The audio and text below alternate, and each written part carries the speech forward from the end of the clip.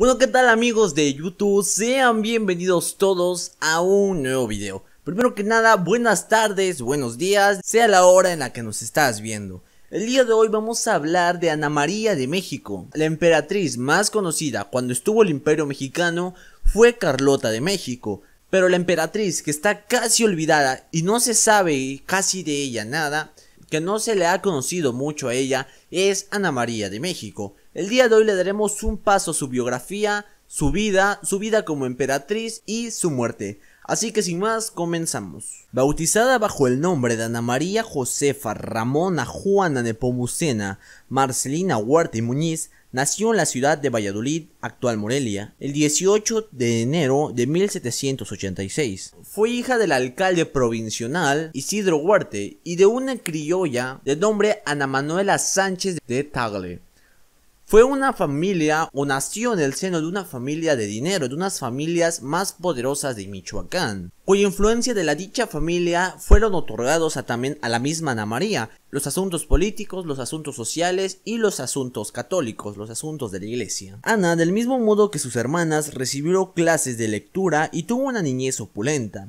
En su casa tuvo a su disposición una gran biblioteca con libros sobre historia vasca, catolicismo y matemáticas lo cual formó parte del refinamiento de su personalidad. Ahora ya dimos un paso a su niñez, su formación como en la política, en la sociedad. Ahora vamos cómo fue que se conoció con Agustín de Iturbide. Ana María ya asistía en el colegio de Santa Rosa, un colegio conservador, en el cual le daba las posibilidades a las señoritas que se luciesen en el mirador, en el mirador de la escuela para que así se luciesen con los hombres, o con cualquier persona que pasase por ahí. Según los relatos, Agustín de Iturbide solía pasear las calles frente al colegio, intentando llamar la atención de las señoritas. Fue así como Ana María y Agustín de Iturbide se conocieron. Sin oposiciones, los dos jóvenes se casaron, ya que la familia de Ana María tenía más poder político y económico, por lo que Agustín de Iturbide se vio muy favorecido al casarse con esta mujer. Finalmente el 27 de febrero los dos contrajeron matrimonio, el 27 de febrero de 1805. Ana María tenía en ese entonces 19 años y Agustín de Iturbide tenía 21 años. Pero la vida de Ana María cambió muy drásticamente después de casarse,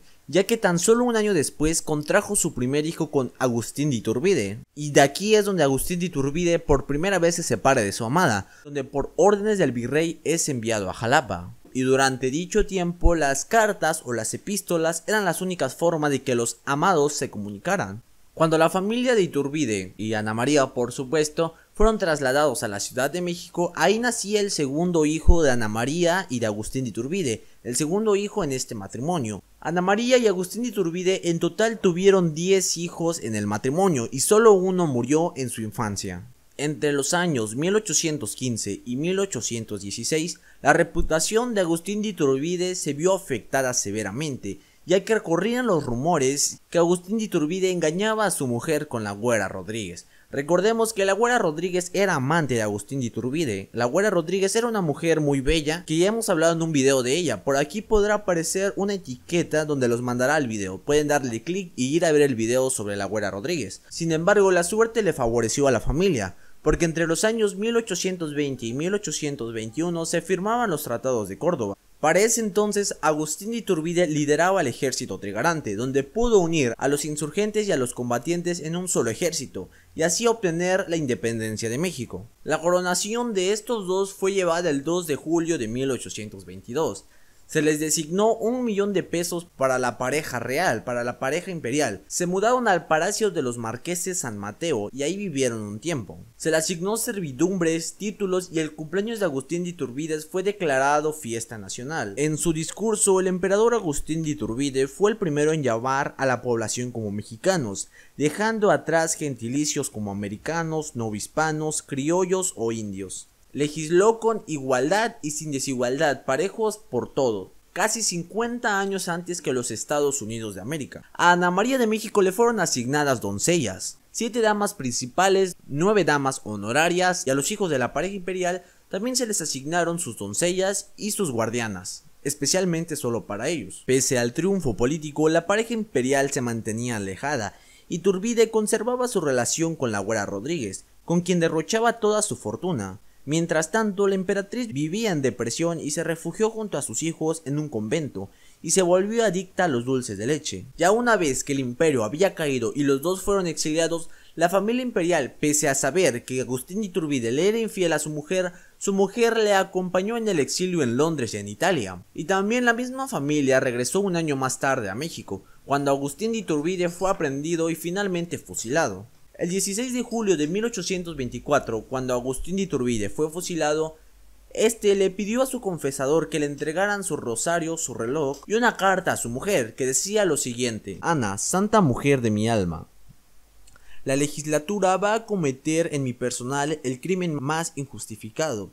Dentro de pocos momentos habré dejado de existir y quiero dejarle en estos renglones para ti y para mis hijos. Todos mis pensamientos, todos mis afectos. Cuando des a mis hijos el último adiós de su padre, les dirás que muero buscando el bien de mi adorada patria, huyendo del suelo que nos vio nacer y donde nos unimos. Busca una tierra no proscrita, donde puedas educar a nuestros hijos en la religión que profesaron nuestros padres. El señor Lara queda encargado de poner en buenas manos, para que los recibas mi reloj y mi rosario. Ya la muerte de Iturbide la emperatriz tenía que huir de México. Finalmente Ana María emigró a los Estados Unidos. Al principio quería emigrar a Sudamérica, pero finalmente fue en San Francisco donde emigró. Ahí murió en 1861. Murió pobre, olvidada ya que en el año 1847 el Estado mexicano le quitó la pensión que le daba el gobierno de México para ayudarla. Así fue como entonces la emperatriz de México murió pobre desolada. Y bueno, este ha sido el video del día de hoy. No olviden dejar su like, suscribirte y compartir. Nos estamos viendo en los próximos videos. Les quería expresar una disculpa por no haber subido videos estos días. Los próximos días estaremos trayéndole el mejor material. Nos vemos en el próximo video.